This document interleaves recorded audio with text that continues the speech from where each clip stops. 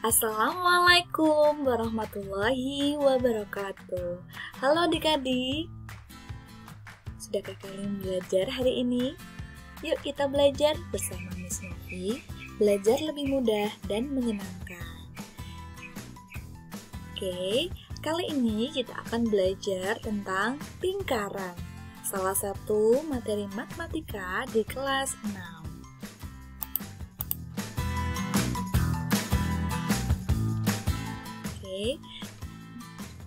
Jangan lupa subscribe bagi kalian yang baru menemukan channel ini ya untuk mendukung channel ini.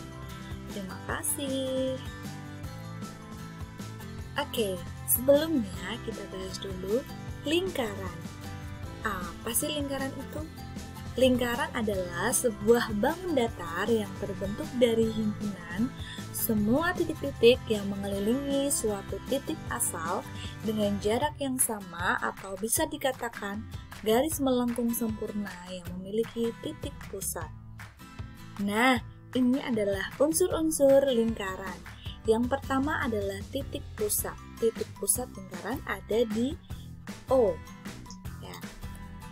Yang kedua, jari-jari. Jari-jari di sini ada OB, OA, dan OC. Nah, yang ketiga, diameter. Diameter itu garis antara B ke C. Nah, oke, selanjutnya busur.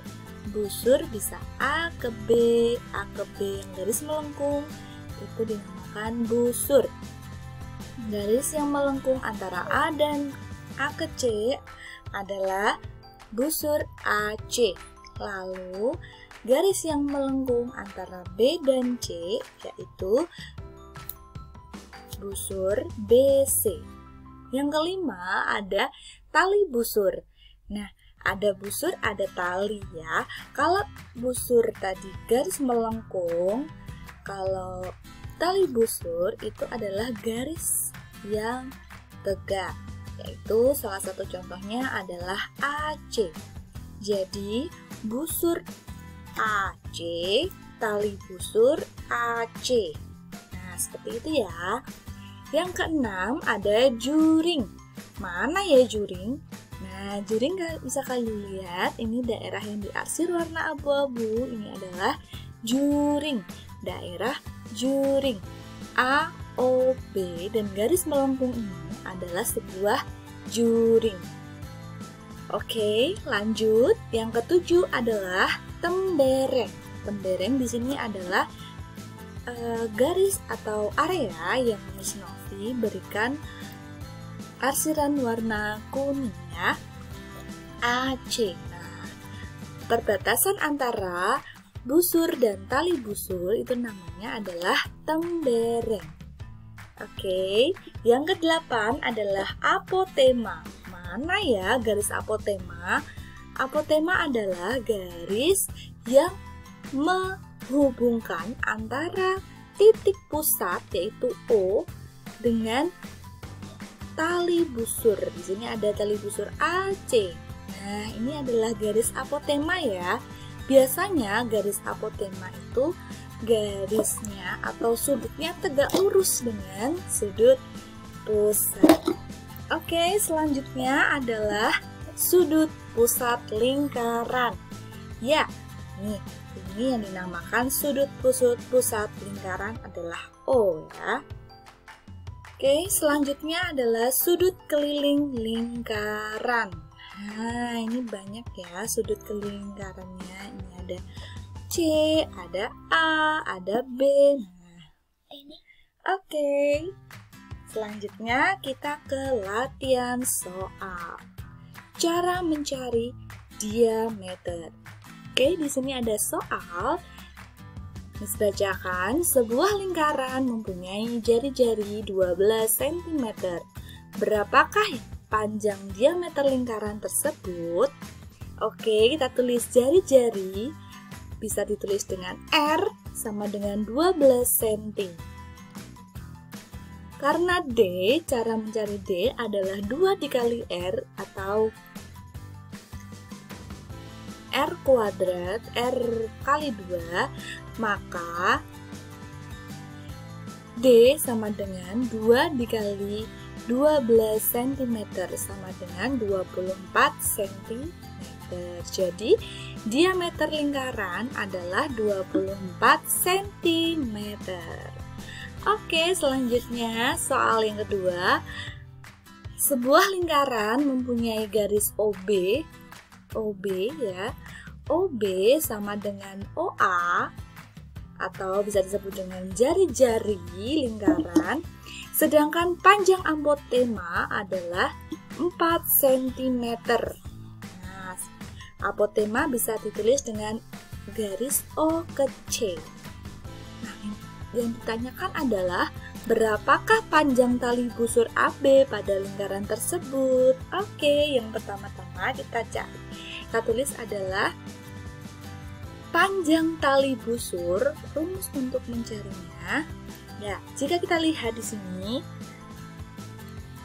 apotema adalah garis yang menghubungkan antara titik pusat ke tali busur. Nah, di mana sudutnya adalah tegak lurus. Jadi, otomatis di situ ada teorema Pitagoras. Nah, masih ingat nggak teorema Pitagoras? Oke, kita ingat-ingat ya.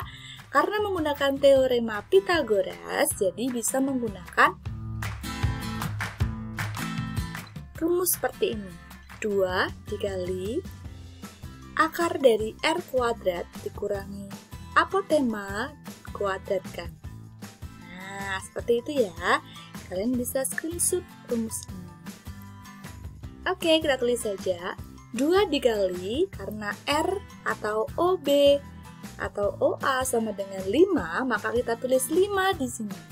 5 kuadrat dikurangi karena panjang apotema atau OC-nya adalah 4 cm, kita tulis 4 kuadrat. Setelah itu, kita kuadratkan menjadi 5 kuadrat hasilnya adalah 25 dan 4 kuadrat sama dengan 16. Nah, setelah itu karena sudah dikuadratkan semua, jadi kita kurangkan. 25 dikurangi 16 sama dengan 9 Nah setelah itu 9 kita tarik akar ketemu 3 So panjang tali busur adalah 2 dikali 3 yaitu 6 cm Oke sudah bisa ya Lanjut ke soal nomor 3 sebuah lingkaran mempunyai luas 240 cm kuadrat. Berapakah luas juring AOB pada lingkaran tersebut jika besar sudut AOB 120 derajat? Mana ya caranya ya? Oke, kita tulis dulu yang diketahui. Yang diketahui ada luas sama dengan 240 cm kuadrat. Jika kita ingat-ingat, Luas juring adalah rumusnya sudut AOB per 360 derajat dikali luas lingkaran. Di sini sudah diketahui ya, luas lingkarannya adalah 240 cm. Nah, kita tulis saja di sini.